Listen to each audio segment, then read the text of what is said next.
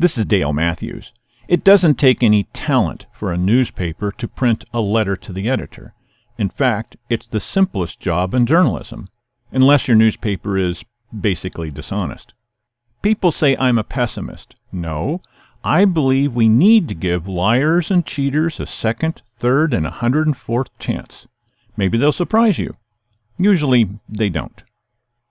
I haven't submitted a letter to the Daily Courier in years.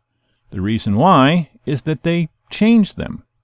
That last one, years ago, was about the county's cable TV vendor who was playing commercials on our non commercial government channel and pocketing the profits. But the point of that letter was about infomercials on behalf of the college. The vendor, RVTV, is a subsidiary of RCC in Ashland, and on every county government playback day, the college was advertising courses for sale. This is blatant commercialism, paid for by taxpayer dollars. So I wrote a letter to the editor pointing out that RVTV is running infomercials on our county cable channel, and I think that's improper. The Courier didn't like that. They rewrote my letter to read RVTV is running programs on our county cable channel, and I think that's improper. RVTV was being paid to run programs, so people asked me, What's your problem? That doesn't make any sense. Well, I said, you can thank the Daily Courier for that. Here comes the optimism. Maybe the Courier is capable now of simply printing a letter. Maybe they can be honest about it. I wrote a letter, just a list actually, of important stories that the Courier hasn't shown any interest in covering. I called Dennis Roler and he promised not to change the title or the content of my letter. Never again, right? So the first thing he did was change the title. My title they promised not to change was Direct Quotes That Haven't Been Sanitized for Your Protection. That changed to Readers Can Measure Story Value Themselves. My title was a criticism of the Courier's lack of news sense. Can't tolerate that. Crossed out. The letter started this way.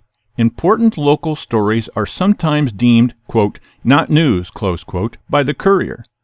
They took out the quotes, even though those words are directly from Dennis Roler. Can't tolerate that. Crossed out. I referred to the newspaper as the Courier. They changed that to the Daily Courier. It was my letter and my point.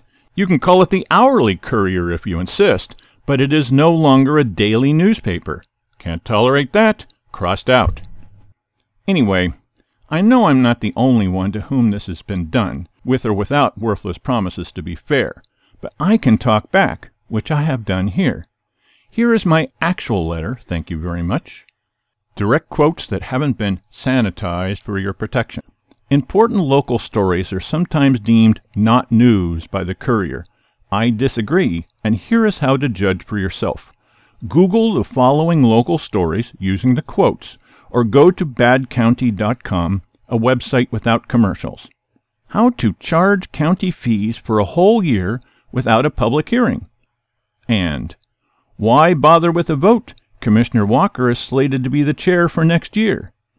And Swift claims he doesn't know what the levy is and that he never said anything about it. And Hare offended by descriptions of poverty says rich residents are misunderstood. And the embarrassing report that disappeared and then never existed. And Hare says Josephine County has more open government than anywhere else in the world. And bankrupt golf resort vows to block sewer district if it proceeds without them. And Hare says citizens probably should not voice their opinions about the election. And what happened to the tens of thousands spent on emergency infrastructure? And county revealed to be exaggerating ordinance problem by 4,400%. And Walker promised to stop attending SOS meetings after being elected.